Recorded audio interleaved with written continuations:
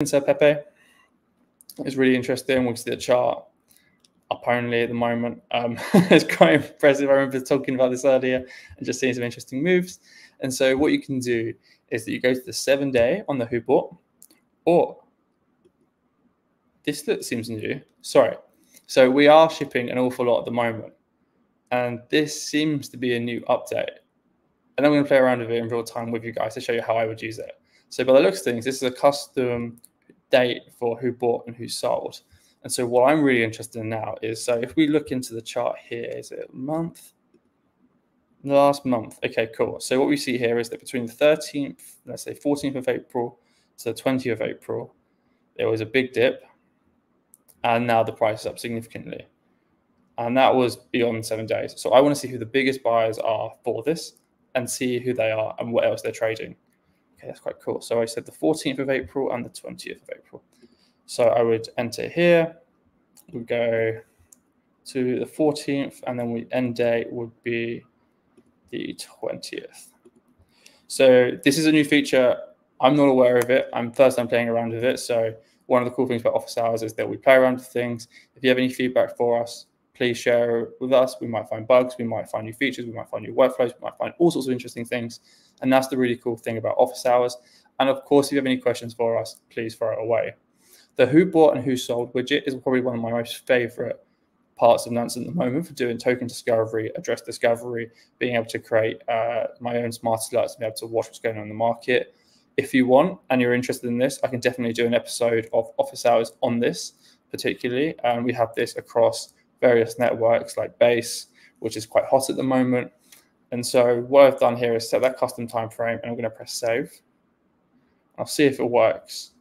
And it does work. This is cool. So what we've done now is we've set a custom date range to look at the top buyers between the 14th of April and the 20th of April. Why this is interesting is because now I can look and do some backdate testing to discover interesting addresses that may be highly profitable. And if they're highly profitable, we want to know who they are and we want to see what they're doing so we can see when they're making moves in real time and use that information to our advantage. So what you do here is that you can hover over some of the feedback that we've had so far with um, new PNL from our professional subscribers is to include PNL in the hover. So you don't even need to dive into the address. So again, it's making that whole process a lot smoother for you when you're doing your research. This address is worth six million. They bought two hundred eighty-seven thousand dollars worth of Pepe. I'm going to press Command and then click. So when I press Command click, it opens up a new tab and allows me to stay on the dashboard that I'm looking at and continue doing my research and going through addresses. So again, the 90-day smart DEX trader, I'm interested in that. This millionaire here, let it load. Again, interested in this. I'm not interested in this address here because it's not labeled much, so maybe it's just a one-off occasion. Uh, this address here, because an ENS and their value is quite significant relative to the bot. So maybe they made a big, big trade here. And then I'm also going to look at this high balance address here. And again, command click. So just to recap where we're at, we're using token god mode to discover interesting tokens. We look at Pepe particularly because we saw that on the smart money token inflow. I'm choosing it as a random token. Again, everything on office hours is not financial advice. I'm just showing you on-chain data to help you understand what's going on-chain. And you can use the on-chain data to make decisions for yourself. And so I just discovered that we have a custom date range, something that I've actually personally requested because I want to be able to backdate some of the top buyers and sellers. And we've managed to set it when Pepe was having a recent dip between the 14th of April and the 20th of April. And we did that by clicking on this uh, emblem here. So we zoom out six months, that was a big dip. So if they've bought, managed to buy here, maybe a first time buyer, a new time, or maybe they're adding to their position, this could be considered smart. And if it is considered smart, we want to know about it and we want to use that information to our advantage. I then looked at the top buyers and pressed Command click to open up new tabs. And so now the next step is to look at these addresses and see if they're interesting or actionable. So the first address is this active token millionaire. So I'm just going to share my tab here. And that's an interesting portfolio. I find this to be very interesting.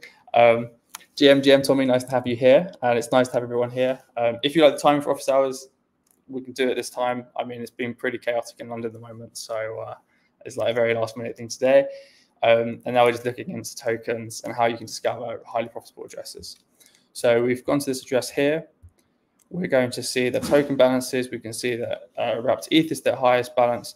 And judging by the fact that it's taken a while to load up the data here, I imagine this address has a lot of transactions. So it might be a bot. And if we look at their activity, it looks pretty chaotic. So I'm just going to go to PNL quickly.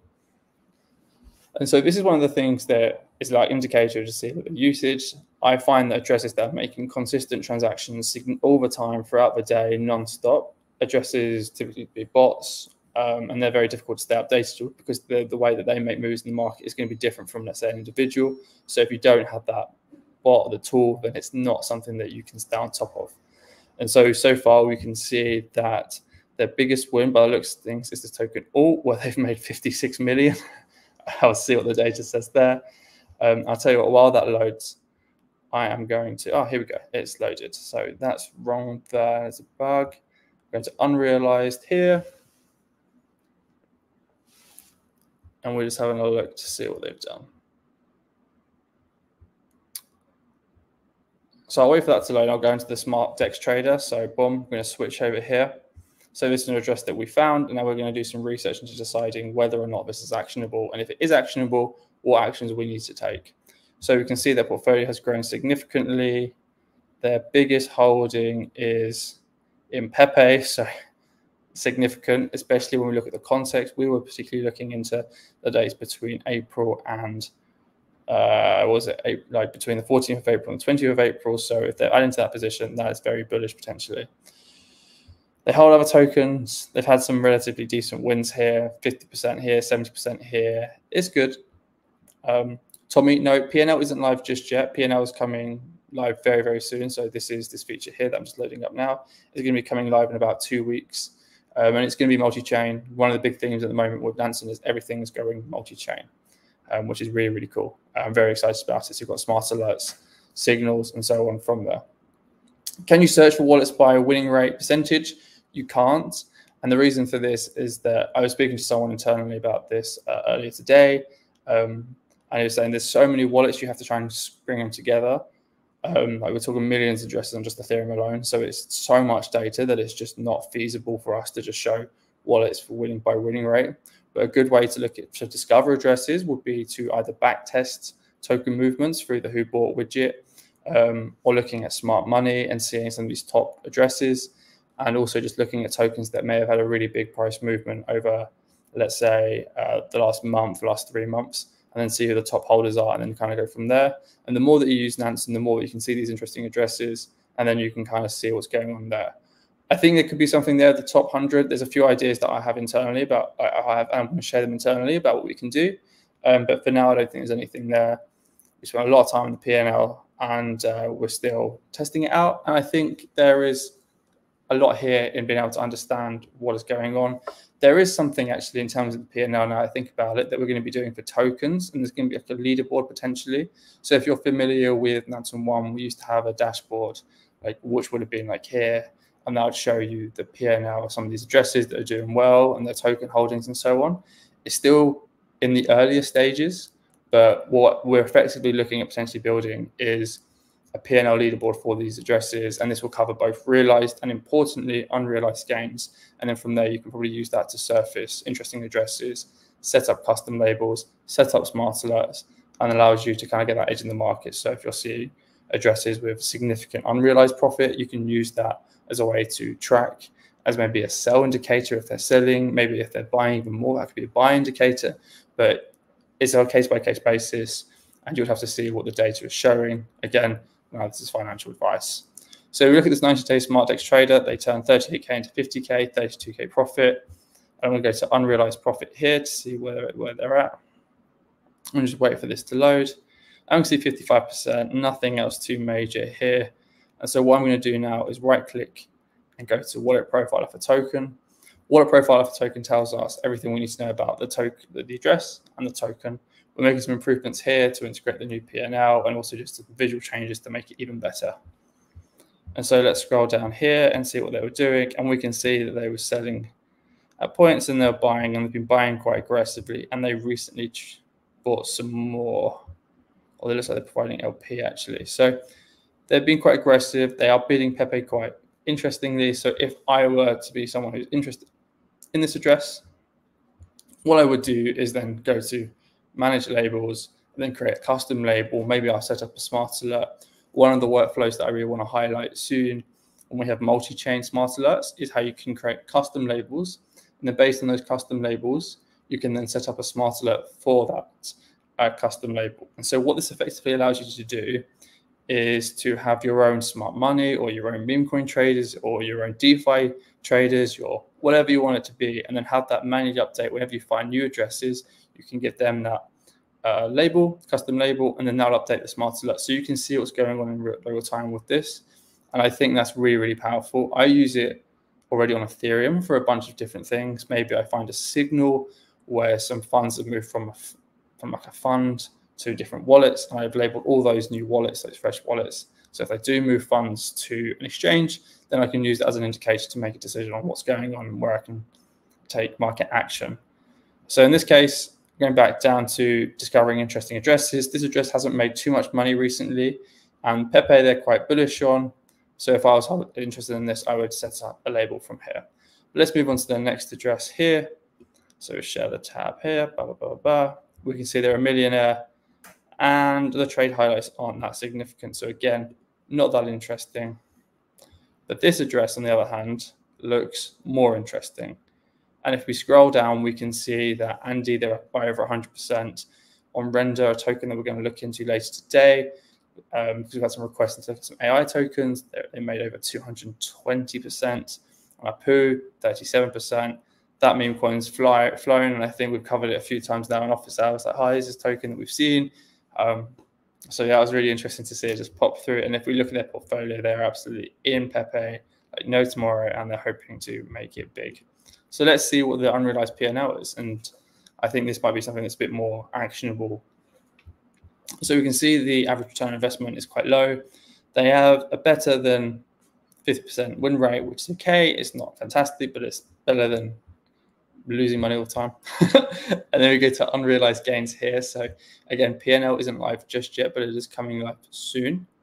And about two weeks is what I've been told. And then we'll be able to explore all these different addresses and be able to do some research on these tokens and so on forth. And we see Pepe, they're up 50%, which is pretty cool. Because if we go back down to what we started with, what we did is we went to token god mode for the token that we're interested in. For the example, we used Pepe we went to this little widget here to set up a custom date.